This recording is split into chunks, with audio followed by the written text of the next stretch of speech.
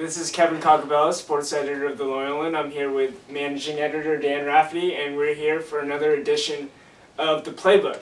Uh, first off, we're going to talk some Super Bowl. Yep. Uh, Dan had a column earlier this week about Super Bowl prop bets. Mhm. Dan, what was one bet that you came across that you think is that can make things a little interesting for the viewers at home? Definitely interesting, and this one's going to come at the end of the game. So the bet was what color Gatorade will the winning coach be dumped on at the end of the game? And the best odds, green, is at 10 to 1. So if you put $10 down and they pour green Gatorade on either Pete Carroll or John Fox, you could be coming out of there with a Benjamin. All right, let's go on to predictions. Mhm. Dan, what is your prediction for the Super Bowl? Defense has won three out of four times uh, the three and one.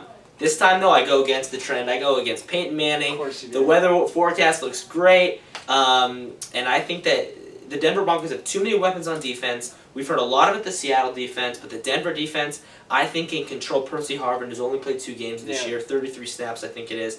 Russell Wilson, who um, I think is a great quarterback. I don't think he's a Super winning Bowl quarterback yet. I think he needs one more year.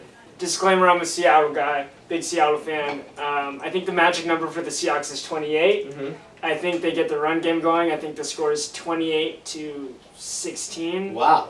Um, and I see the Seahawks pull it out based on their run game, based on their defense, and based on the fact that uh, the is going to be pretty crappy for. Well, there we go. I agree that Seahawks get 28, though. I think it's 34-31 Broncos. Okay, so 34-31 Broncos, and I'm Yes. saying 28-16 Seahawks. Right. Uh, let's move forward. Let's talk a little bit about LMU basketball. Right. Uh, Dan, what's the state of the team right now? Finn. I mean, literally, literally and figuratively. These this team, they're only playing with seven scholarship players, and they're small. Anthony Ireland, the best player, is at five ten. Their biggest man is Osborne. He's at six nine or something like that, eleven.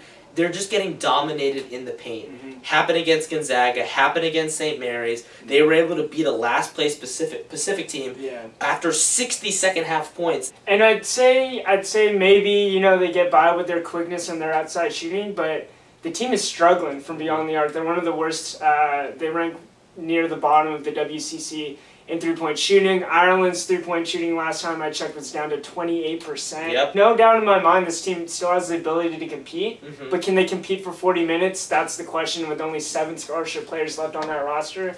One thing to say though is they played a lot of away games this Yeah. year, and I think that if this team is gonna make a run, it's gonna happen in the latter end of the WCC mm-hmm. schedule. They have some teams at home, some beatable, winnable games at home, and then as we saw last year, you make it into the WCC tournament, and anything can happen. Anything so can happen. talk to Coach Good today. He's literally just trying to get as high up in the standings as possible and head into Vegas on a high note.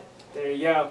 Well, that's this week's edition of the Playbook for coverage on the Super Bowl and of LMU men's basketball. Check us out in print uh, on Thursday and online at laloyolan.com slash sports, Twitter at Loyolan Sports. Thanks.